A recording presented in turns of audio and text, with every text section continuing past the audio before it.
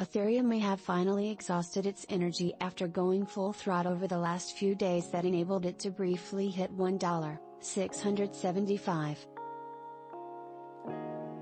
As the altcoin alpha has finally entered the expected correction phase, analysts shared their thoughts, saying the crypto, at all cost, must hold its $1.500 support zone if it hopes to initiate another bullish rally anytime soon.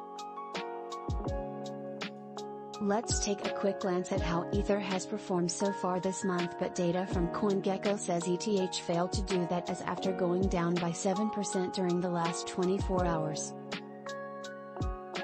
At press time, it is trading at $1.480 and it is now $120 shy of the crucial support range it should maintain to fuel another rally.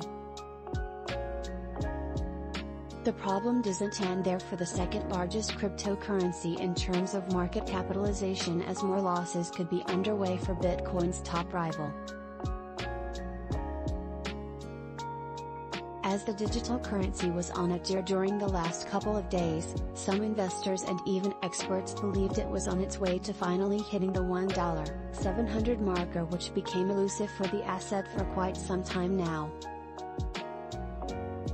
but shortly after peaking at $1.670, Ethereum price entered a downside correction, falling to $1.620 and then losing some more of its value to trade at $1.600.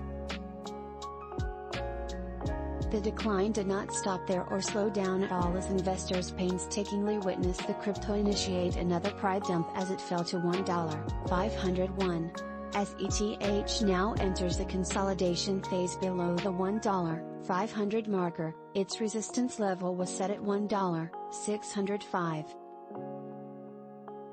Across its chart, a bearish line emerged, indicating that Ethereum will find it challenging to recover immediately following this price correction.